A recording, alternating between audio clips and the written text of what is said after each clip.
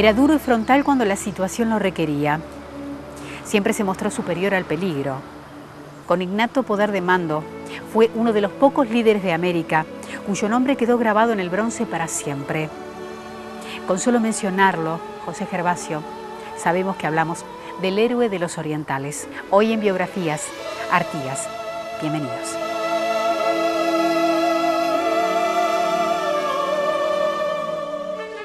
En la conocida publicación nacional Los tiempos de Artigas se abre una interrogante. ¿Cómo era ese hombre que había marcado tan a fuego una época y la memoria de un pueblo? Las descripciones físicas coincidían en su aspecto agradable, estatura regular, nariz aguileña y el atractivo de un carisma que ni sus mayores detractores dejaban de reconocerle y que se agregaba a los datos estáticos de sus facciones como una sobredimensión. Algunos señalan que tenía ojos claros, otros decían que eran oscuros.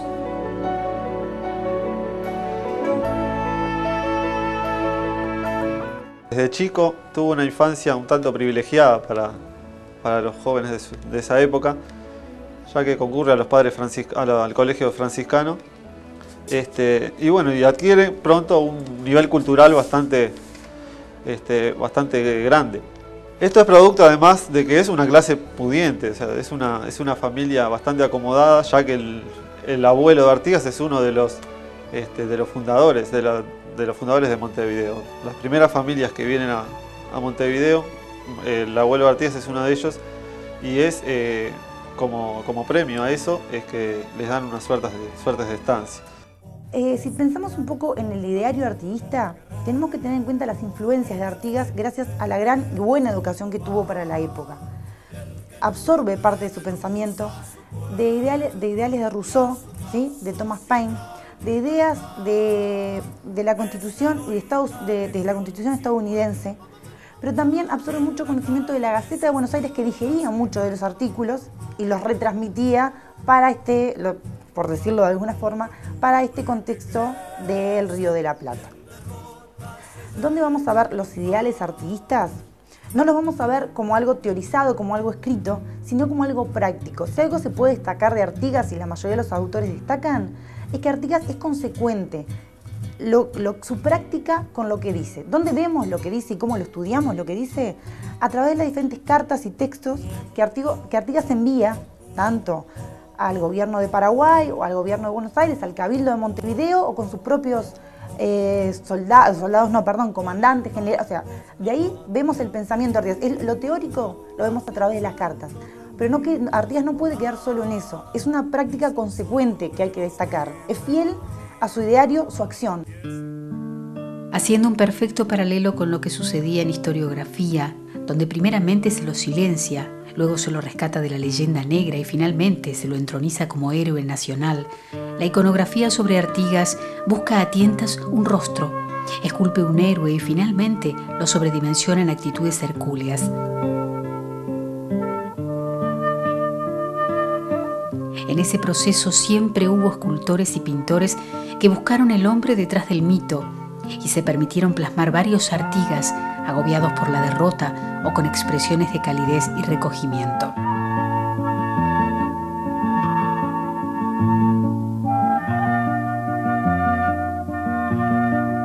Sus múltiples rostros reflejan las miradas de diversas generaciones sobre todo lo que su mítica figura sintetiza para el imaginario colectivo.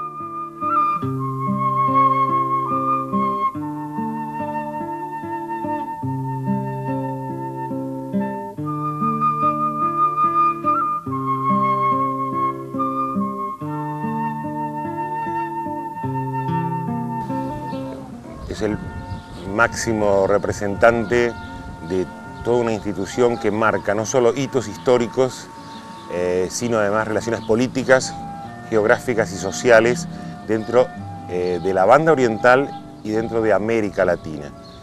Es el gran héroe de los orientales, pero es el gran precursor de lo que hoy pretende ser el Mercosur y toda su labor sociopolítica se basó en la independencia de la gente de color que había venido desde África, en la liberación de la raza aborigen, que son los eh, indígenas, y el reparto equitativo de tierras y de eh, instituciones rurales a todo el pueblo de la banda oriental. los principios, por supuesto, son los principios de la Revolución Francesa a través de lo que es la Constitución norteamericana, un hombre increíblemente instruido, asesorado sí por personajes como La Robla o La Rañaga, pero que eh, eh, sin lugar a dudas el pensamiento firme de él eh, fue libertad incondicional para todos los territorios y sobre todo federación, una palabra muy importante que lamentablemente a lo largo de los años y de la historia hemos quedado afuera de esa federación con los problemas consecuentes de hoy en día en relación al resto de las provincias unidas del Río de la Plata. Juan Manuel Blanes, el pintor que acompañara el fortalecimiento del Estado y el primer proceso de modernización nacional con su pincel, rescatando páginas de historia y alimentando el relato de los orígenes nacionales, también retrató a Artigas. Se detuvo ante su mirada, no pudo o no se animó a definir algo tan fundamental en un rostro y le entornó los ojos a la vez que le ponía como fondo a la ciudadela y como gesto los brazos cruzados, enfundando en la chaqueta azul de los blandengues. Años más tarde, lo que se puede, lo que se puede pensar es en un Artigas de bronce que es reivindicado por el gobierno de Santos, que necesitaba construir un héroe a la medida de las necesidades del Estado. Entonces, ese Artigas después va a ser otra vez glorificado otra vez ensalzado con la pintura histórica de Blanes, que va a generar la imagen del héroe, porque no solamente se necesita una narración del héroe que aparece en la historia, en la historia escolar de eh, Francisco Bausá o en, la, en el cántico que le hace Juan, Juan Zorrilla de San Martín, sino que también se necesita un ícono, una imagen de un uruguayo con el que todos se reconozcan. Y esa, esa imagen del uruguayo es la imagen de Artigas en la Ciudadela, del retrato hecho a carbón de, perfil de Artigas, de la batalla de las piedras. Es un Artigas que se convierte en símbolo de una nacionalidad que él no buscó. Es el gran fundador,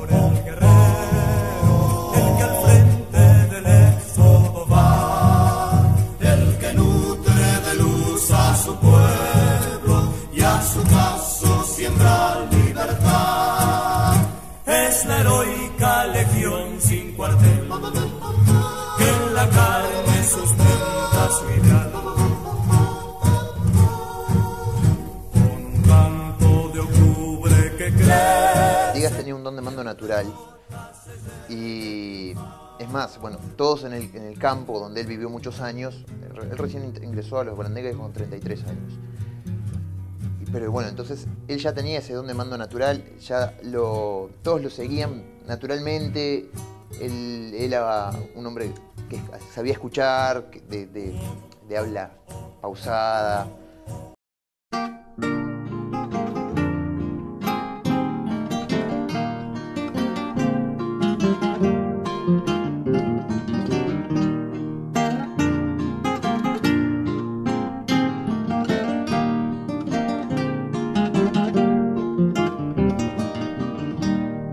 Lejanos recuerdos, tierra mía, la ausencia emposándose en el alma, el sueño de las piedras no se muere, el sueño de la patria liberada.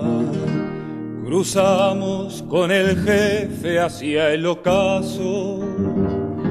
La noche al horizonte se levanta, el rojo camino en flor de ceibo, es sangre por la patria derramada, la sangre de don Manuel Artigas.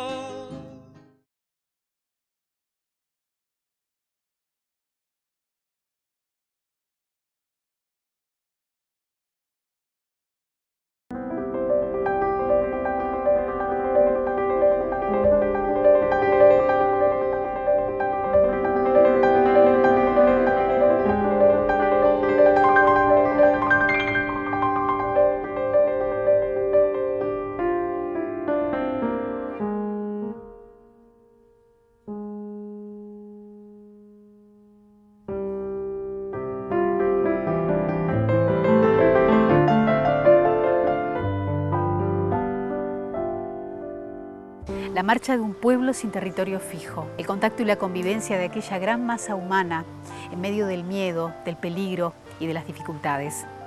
Pero también la esperanza alimentó aquellas almas en el éxodo del pueblo oriental. Cuando el éxodo tenía 48 años, era enérgico y paternal, tenía entradas importantes, ojos claros y un perfil agudo. Su carisma era reconocido aún por sus detractores. Es el hombre de la época, dijo uno de ellos. Es hacia ese territorio que se dirige porque el cargo implicaba la obligación de poblarlo y las familias ya se habían sumado a su ejército. Cruzan el río Negro entre el 11 y el 13 de noviembre de 1811. Tres días para cruzar trabajosamente el más ancho de los ríos interiores de la banda oriental. Luego ocupan Paysandú por pocos días y siguen cruzando las barreras de agua de la bien regada llanura. El primero de diciembre el arroyo Quebracho, el 4 el Chapicuy y el 7 el Daimán. Luego seguirán hasta el Salto Chico, donde efectuarán el cruce del río Uruguay. Las familias cruzan en diciembre, Artigas y su ejército solo después de custodiar el pasaje de todos ya en enero de 1812. Allí acampan en las orillas del arroyo Ayuy, en la provincia de Entre Ríos. Los charrúas, que en número de 300 aproximadamente acompañaban la marcha, no abandonan el territorio de sus antepasados y se quedan de este lado del río, pero aguardarán expectantes el retorno del pueblo en armas.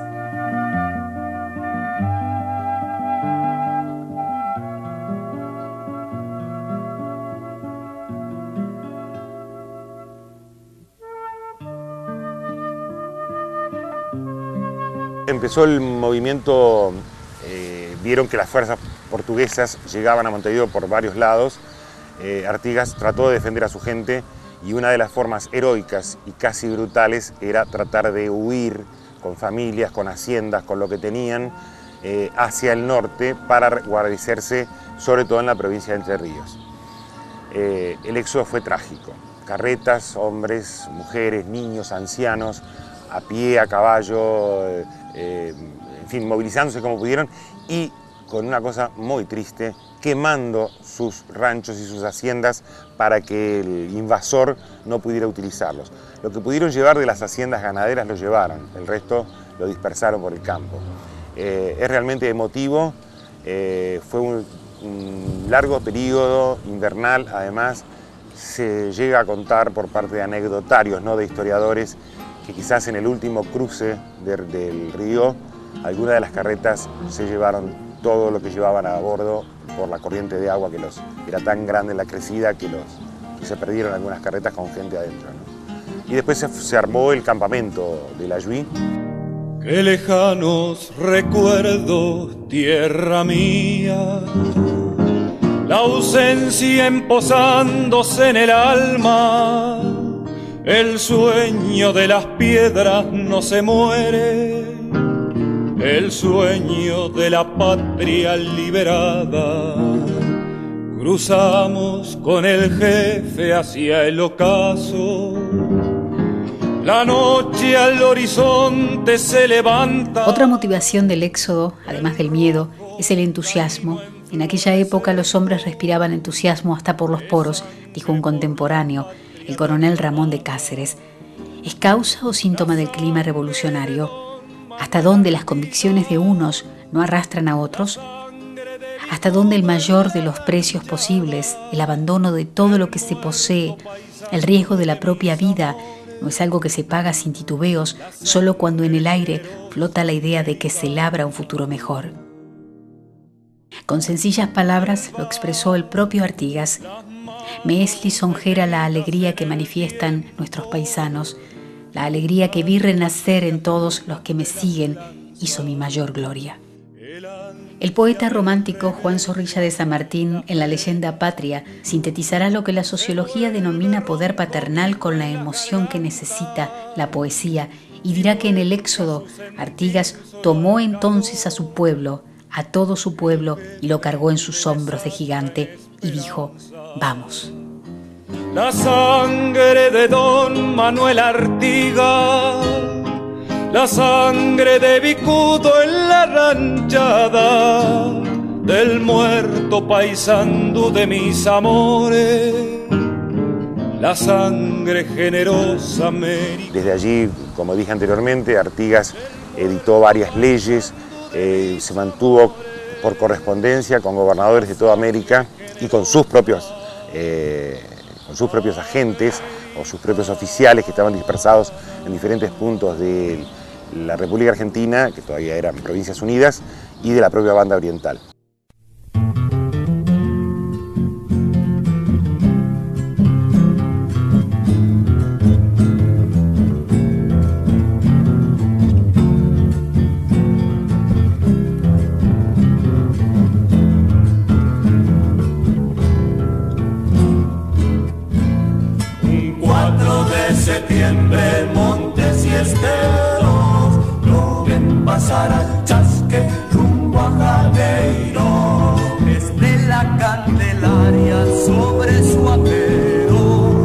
Estar acá en Las Piedras desde 1811, nosotros nos llamamos Sociedad Criolla Artiguista, eh, indudablemente nos da la pauta y el pie el hecho de la batalla. Él se plega a las fuerzas orientales, que estaba, estaba en Buenos Aires en ese momento, llega a través de Colonia, se une eh, a la gente que estaba combatiendo la corona española, pelean primero en San José y luego el 18 de mayo, un día muy lluvioso, muy gris, sus fuerzas permanecieron exactamente a 3 kilómetros de acá durante una noche, preparando la batalla, salen de Montevideo los españoles creyendo que iba a ser pan comido y se encontraron con una verdadera guerra de guerrillas en un lugar que queda apenas a 1500 metros de este lugar donde estamos en este momento. Fue una batalla que duró de, sol a sol. Artigas hizo algo muy clásico en lo que es el arte de la guerra. Finge una retirada y en esa retirada, eh, para hacerlos perder la posición ventajosa al enemigo, va por. este, el- al, retirar, al hacer la retirada, después toma su retaguardia y los encierra contra un arroyo, ¿no? y ahí él en ese momento pierde su caballo y bueno, lo que se cuenta es que él saca su espada y sale a pie al enfrentar al enemigo, lo que logra el enardecimiento de toda la tropa. Y bueno, después al caer la tarde ya había vencido y se, se rinde el enemigo. ¿no?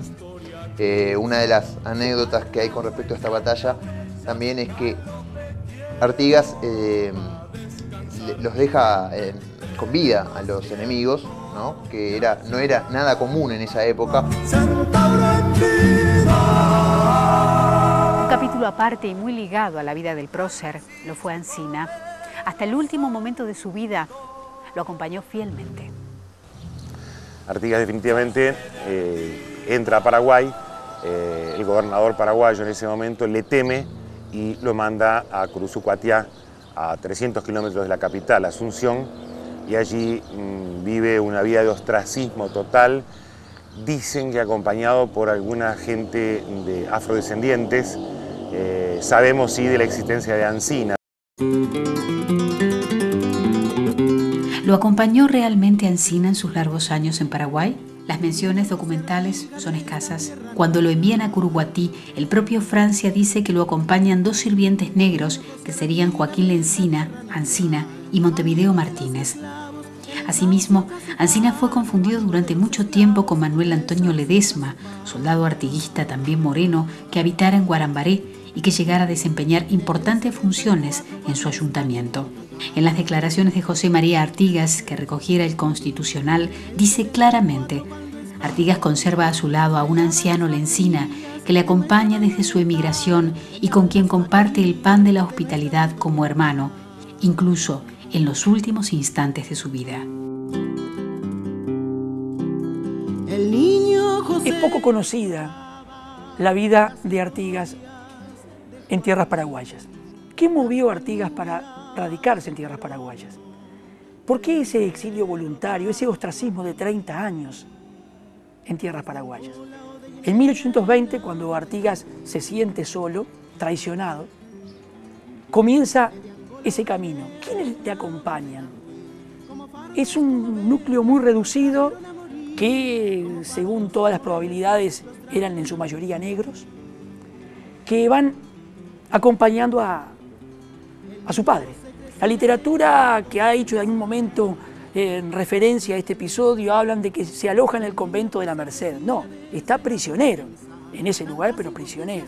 ¿Por qué? ¿Qué había hecho Artigas? ¿Qué significaba esa figura para la prisión? Y aquí surge una serie de especulaciones.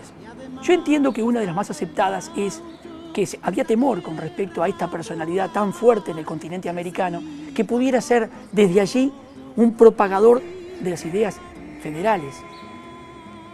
Y Francia, Gaspar Rodríguez de Francia, reacciona de esa manera.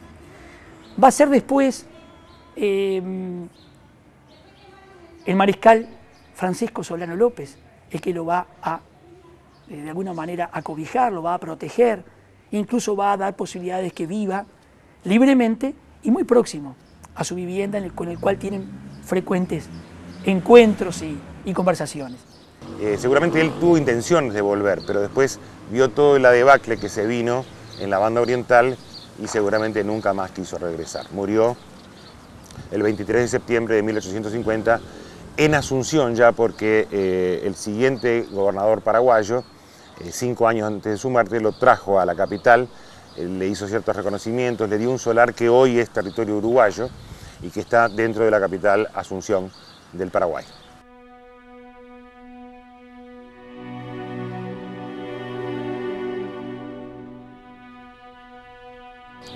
Artigas eh, fue no solo un prócer, un libertador, sino que además la guía imprescindible para que eh, los hoy uruguayos orientales de aquel entonces eh, pudiéramos tener fe en el futuro y creer en nosotros mismos.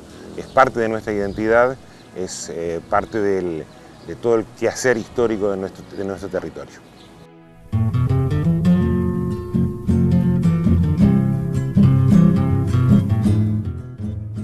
Pensamiento, su vida de lucha y sacrificio y el ejemplo que significó su retiro cuando ya no podía seguir luchando son valores que los uruguayos recordaremos siempre. Artigas fue el primero en luchar incansablemente para conseguir nuestra independencia.